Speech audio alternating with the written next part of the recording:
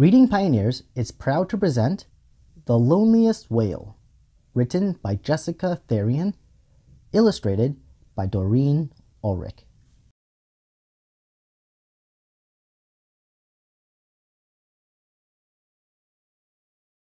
The loneliest whale was a sad little lad. He'd gone swimming alone and lost his dad. So he sang their song and hummed their tune, hoping Dad would hear him soon.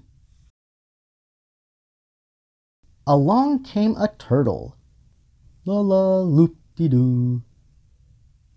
But the turtle couldn't speak whale, so he hid inside a shoe. Can anybody hear me? Little Whale called out. A pigfish swam past him, turning up his snout. That octopus seems friendly, he thought as he swam on. He whistled twice to flag him down, but the octopus was gone. The scuttle of a crab made him turn, caught his eye. Hey, said the lonely whale. But the crab crawled on by.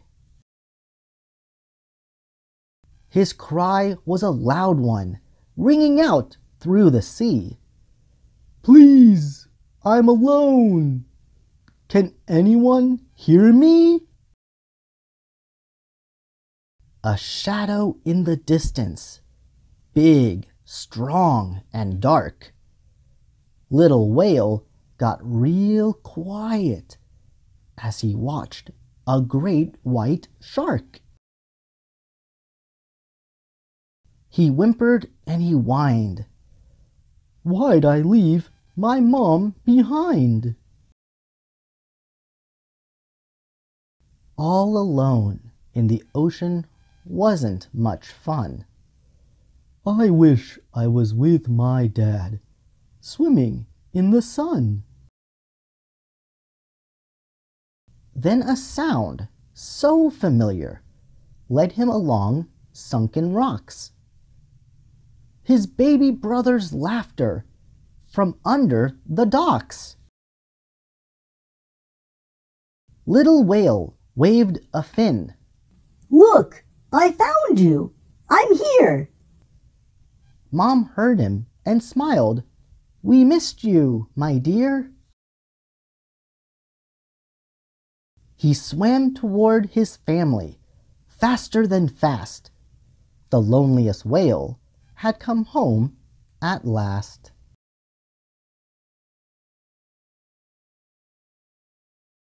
Thank you everyone for reading along with us to the story The Loneliest Whale. This story was recommended by Acorn Publishing a publishing company that creates different types of children's books.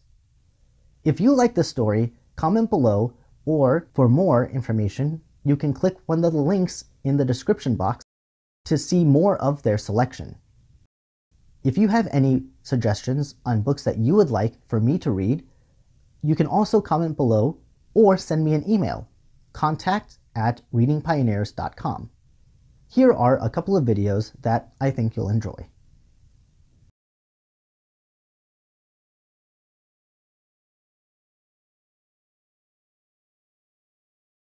Well, that's it for now.